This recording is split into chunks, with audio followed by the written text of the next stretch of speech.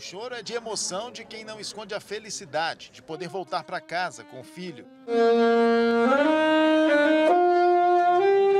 Até quem já está acostumado a lidar com casos mais delicados se emocionou. É uma emoção muito grande a gente poder estar tá trazendo ele de volta, ele de volta para a família. A gente vai acompanhar a recuperação dele até ele ficar 100% recuperado e que ele possa estar tá retornando para estar tá trabalhando com a gente, estar terminando o seu processo no Bombeiro Mirim conosco. Cauã Lima, de 9 anos, teve alta na manhã desta sexta-feira, depois de mais de um mês se recuperando de um acidente que sofreu dentro de um batalhão dos bombeiros. A trave usada no gol do campo de futebol caiu na cabeça dele. O menino, que é bombeiro mirim, foi socorrido imediatamente e levado ao hospital.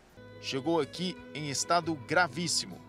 Cogitamos a possibilidade de óbito, sim. Acolhemos o pai e a mãe, explicamos para a família esse risco, que era um risco real, mas, como eu sempre falo, a gente não trabalha com porcentagens de viver ou de morrer. Se tem 1% de chance de viver, é isso que a nossa equipe investe. E foi isso que a gente fez. Foram 38 dias internado aqui no UGOL. Agora, o pequeno Cauã está voltando para casa, feliz da vida, cheio de planos e sonhos para o futuro. Seu sonho é ser bombeiro? Sim. Feliz de estar tá indo embora para casa? Sim. Esse é quem? Tá com saudade da sua casa? Sim. Quem que é esse aqui? Lima. É o seu nome de guerra? Sim. Cauã Lima, está aqui na camisa, é o seu nome de guerra e aqui é o Lima, o seu mascote. Sim. Seu amigo e companheiro. Sim. A mãe esteve o tempo todo ao lado do filho, muitas vezes com o coração apertado por conta da gravidade, mas agora aliviada com a volta para casa. Foi o que eu sempre disse. Eu nunca vou desistir porque eu sei que Deus me diz sim.